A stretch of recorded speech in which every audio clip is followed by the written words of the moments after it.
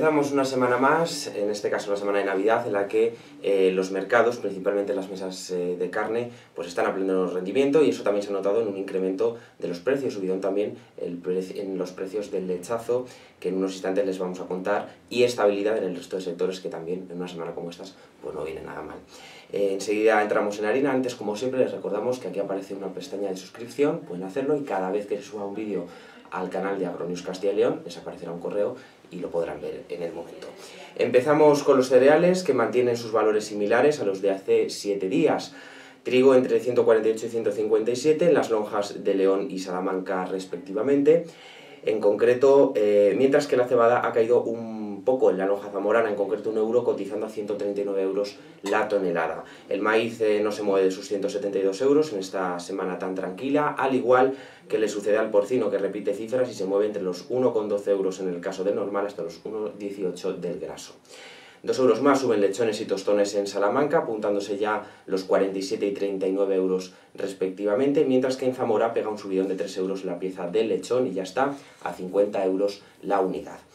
En esta semana en la que la actualidad ha pasado por esos robos de lechazo a unos días de la Nochebuena eh, y la Navidad, tal y como les hemos contado en Agronius Castilla y León, los productores pueden respirar, eso sí, algo más aliviados en lo que a precio de lonja se refiere.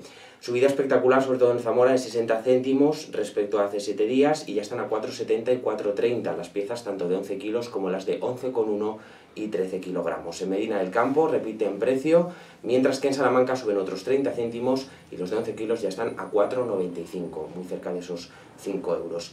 El resto de mesas cárnicas en vacuno e ibérico repiten también las mismas cantidades.